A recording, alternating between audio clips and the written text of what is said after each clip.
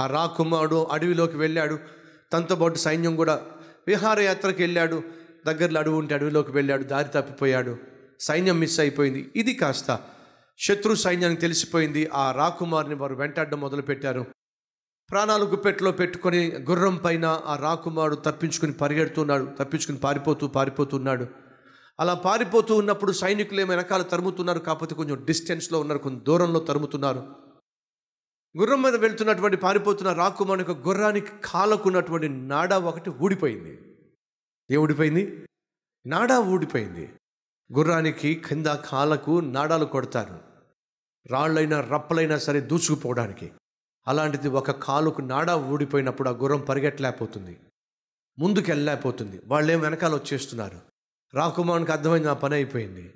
ఇక తప్పించుకునే ఛాన్స్ లేదు. అనుకుని కుంటుతున్న గుర్రాన్ని బలవంతంగా ముందుకు తీసుకెళ్ళే ప్రయత్నం చేస్తే ఒక చెట్టు కింద వీని యొక్క అదృష్టవశాత్తు గుర్రాలకు నాడా వేసేటటువంటి ఒకడు కూర్చున్నాడు అది చూశాడు. దూరం నుంచేమో శత్రువులు వచ్చేస్తున్నారు. ఇప్పుడు గుర్రం పైన మీరుంటే ఏం చేస్తారు? అనుమాకండి గుర్రం నడపడం నాకు చేత కాదు. స్వారీ చేయడం నాకు చేత కాదు. మీరే ఆ గుర్రం పైన ఉన్న రాకుమాడితే ఏం చేస్తాడు? నాడా కొట్టేవాడి దగ్గరికి వెళ్ళి నాడా వేయించుకుంటారా? లేక వాళ్ళు తరుముతున్నారు కాబట్టి కుంటుతున్నటువంటి గుర్రం మీదే ముందుకెళ్ళే ముందుకు వెళ్ళే ప్రయత్నం చేస్తారా? మీరైతే ఏం చేస్తారు? ఓ ప్రశ్నని వేయనివ్వండి. వాళ్ళు తరుముకుంటూ వస్తున్నారు కాబట్టి నాడా వేయించే సమయం లేదు కాబట్టి ఇక కుంటుతున్నటువంటి గుర్రం మీద పారిపోయే ప్రయత్నం చేస్తేనే బెటర్ అన్న వాళ్ళు చూపిస్తారా? సరే. వాళ్ళు తరుముకుంటూ వస్తున్నారు కాబట్టి నాడా వేసేవాడు ఉన్నాడు కాబట్టి ఒకవేళ వాళ్ళు వచ్చే లోపల నాడా వేయగలిగితే ప్రాణాలు కాపాడబడతాయి కాబట్టి ఖచ్చితంగా నాడా వేసేవాడి దగ్గరికి వెళ్ళి బాబు నువ్వు ఎంత త్వరగా నాడా వేయగలవు అంత త్వరగా నాడా వేయ్యా ఎందుకంటే నా ప్రాణాల మీదకి వస్తున్నారు వాళ్ళు? నన్ను చంపబోతున్నారని చెప్పి. అతనికి చెప్పి నాడా వేయించుకునే వాళ్ళు ఎంతమంది వచ్చే చూపించండి. రైట్. ఆ కుర్రవాడు ఆలోచన చేశాడు. ఒకవేళ నేను నాడా వేయించుకోకుండా ముందుకెళ్తే ఎలాగూ వాళ్ళు వచ్చేస్తారు ఎలాగూ చంపేస్తారు? కుంటి గుర్రం మీద ఎంత దూరం వెళ్ళగలను? దొరికిపోతాను చచ్చిపోతాను. అలా కాకుండా ఈ నాడా వేసేటటువంటి వ్యక్తి ఎవరైతే ఉన్నారో అతడు వాళ్ళు వచ్చే లోపటే నాడా వేయగలిగితే నేను మరలా గుర్రం మీద కూర్చోగలను తప్పించుకుని పారిపోగలను. కాబట్టి ఓ పని చేద్దాం. గబ్బగబ్బా వెళ్ళాడు. ఆ నాడా వేసేవాడిని చూసి అయ్యా ఒక్క నిమిషంలో నాడా వేయగలవా? త్వరగా వేయ్యా శత్రువులు వస్తున్నారని చెప్పండి భలేవాళ్ళని నా పనే ఇదే. ముప్పై సెకండ్లు వేసి పడేస్తా. అని చెప్పి నాడా తీసుకున్నాడు మేకులు తీసుకున్నాడు టప్ప టప్ప టప్ప కొట్టేశాడు. ముప్పై సెకండ్లు నాడా వేసి పడేశాడు. ఈ రాకుమారుడు గుర్రం మీద కూర్చున్నాడు.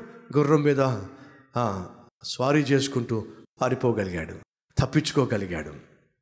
సరే దయచేసి వినండి. ఈ కుర్రవాడు ప్రమాదంలో చిక్కుకున్నప్పుడు తన వెనుక శత్రువులు తరుముతున్నప్పుడు తాను ఒక తీర్మానం తీసుకున్నాడు. ఈ సమస్యను పరిష్కరించేటటువంటి వ్యక్తి ఒకడు చెట్టు కింద కూర్చున్నాడు. ఆ చెట్టు కింద కూర్చున్న వ్యక్తి దగ్గరికి వెళ్ళి నా గుర్రానికి సమస్య ఉంది నువ్వు బాగు చేయగలవా?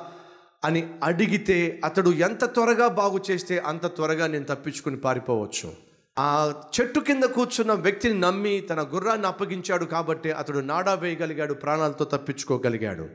నీకు నాకు ఉన్న ప్రతి సమస్యకు పరిష్కారము అనుగ్రహించగలిగిన దేవుడు నీకు అందుబాటులో కూర్చొని ఉన్నాడు. నాడా వేసేవాడు వానికి ఉన్నటువంటి చాకచక్యాన్ని బట్టి ఎంత త్వరగా సమస్యకు పరిష్కారం ఇవ్వగలడు అంతకంటే త్వరగా జవాబు ఇవ్వగలిగిన దేవుడు మనం సేవిస్తున్న దేవుడు. ఈ సమస్య ఏమైనా కావచ్చు అది ఎంత తీవ్రమైన సమస్య కావచ్చు. నిన్ను తరిమేవాళ్ళు నిన్ను బెదిరించేవాళ్ళు నిన్ను భయపెట్టేవాళ్ళు ఎంత బలమైన వాళ్ళైనా కావచ్చు. నీ చుట్టూన్న పరిస్థితుల్లో ఎంత తీవ్రంగానైనా కనిపించవచ్చు అవి నిన్ను కబలించి వేస్తున్నట్టుగా కనిపించవచ్చు వెంట వెంటనే తీర్మానాలు తీసుకోవాలి. వెంట వెంటనే నిర్ణయాలు తీసుకోవాలి అనేటటువంటి పరిస్థితులు దాపరించవచ్చు. ఏం చేయాలి? ఎటువంటి పరిస్థితి గుండా నువ్వు వెళ్తున్నా? ఆ నాడాలు వేసేటటువంటి వ్యక్తి దగ్గరకు వెళ్ళడం చాలా కష్టం. వెనకాల తరుముకుంటూ వచ్చేస్తున్నారు. ఇప్పుడు నాడా వాడి దగ్గరికి వెళ్ళి నాడా వేరే బాబు అని చెప్పి వాడిని అడుక్కుంటే వాళ్ళు వచ్చేస్తే ప్రాణాలు పోతాయి. ఆ రోజు ఆ కుర్రవాడు ఒక ఆలోచనకు వచ్చాడు ఎలాగూ ప్రాణాలు పోతాయి. కానీ ప్రాణాలు బాగుపడే ప్రాణాలు కాపాడబడే ఏదైనా ఛాన్స్ ఉందంటే నా సమస్యకు పరిష్కారం ఇచ్చే ఇతన్ని కలుసుకోవడమే నాకెంతైనా క్షేమం.